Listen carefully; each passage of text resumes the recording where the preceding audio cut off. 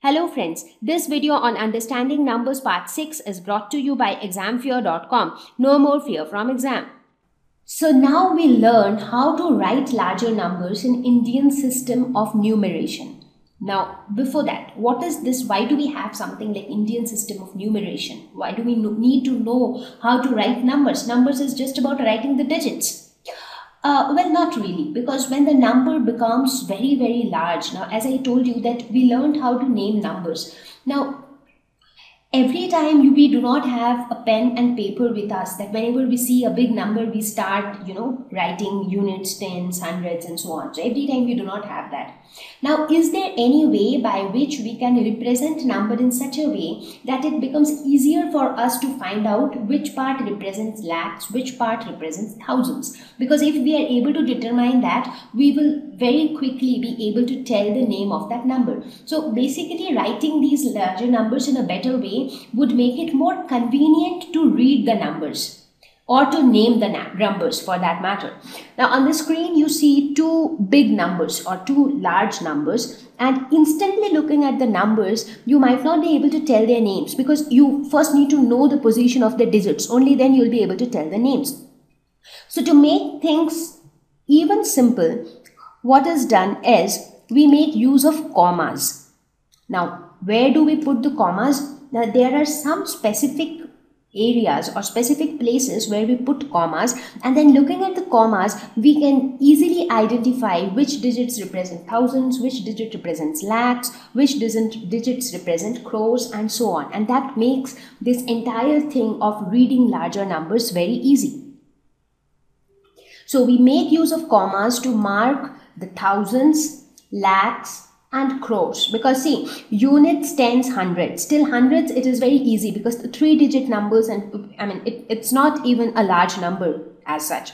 So only when it comes to the thousands you have a five digit number which starts becoming big. So the first comma that we put is for the thousands. Because see here this is your unit. This is tens. This is hundreds and here you have your thousand this is your 10000 this is your lakh and this is your 10 lakh. So what we do we separate the thousands. So we put a comma here. So this comma will quickly tell us that okay this represents the thousand part. We put another comma to separate the lakhs. Now let's say that even if we don't write this even if i don't have this but just looking at the comma you will be able to understand which part is thousand which part is lakh isn't it? So now if I, if I give you this figure just looking at the first wherever the first comma comes. Now whenever I say first or second or third it is always from this side from your right side.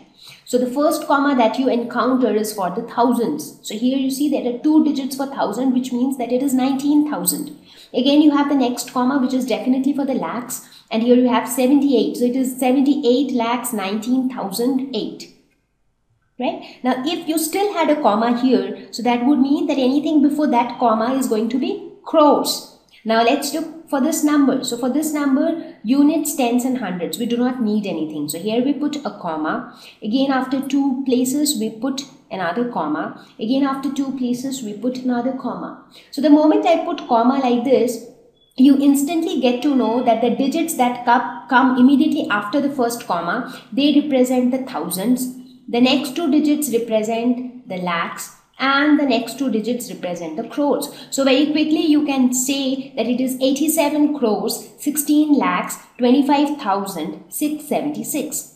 So this is the convenience of putting the commas because when you put the commas you know the thousands, lakhs and the crores and they are like kind of separated from each other and that is why we follow this convention of writing larger numbers. That's why you would have seen that uh, when somebody writes 500 they just write 500 but when somebody has to write 10000 they write it like this 10 comma 000 because that very clearly tells that it is 10000 because let's say that somewhere it is written 1000 and 10000 and 100 like this.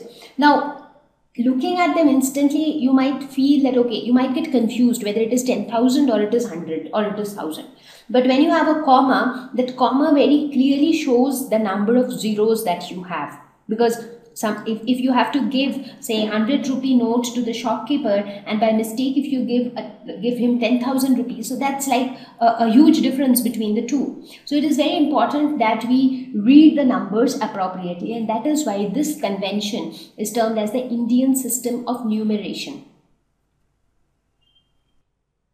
Thank you. Please visit examfear.com for free quality education. You can learn with a simple four-step learning process wherein you can watch video lessons, you can ask your questions, you can refer notes, and you can take a free online test. We have content for class 6 to 12 on physics, chemistry, mathematics, and biology along with practical videos. So please subscribe to our channel for daily updates. Thank you.